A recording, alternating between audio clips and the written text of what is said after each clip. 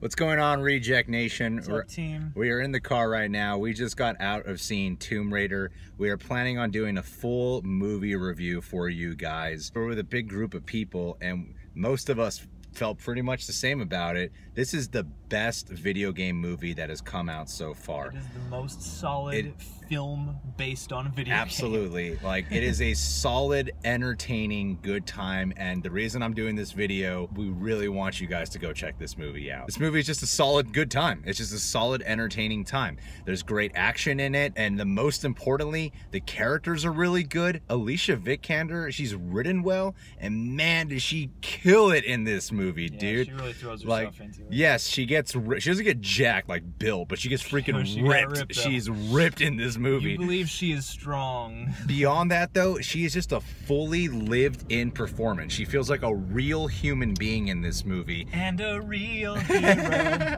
and that was the most important part, was that she just felt like a real human being. Walton Goggins is good in it, Dominic West is good in it, Daniel Wu's really good in it. This film is just a really solid, entertaining time. Yeah, it has set a bar for video game movies. This is a great first step for video game movies, absolutely. And I really want you guys to go check this movie out.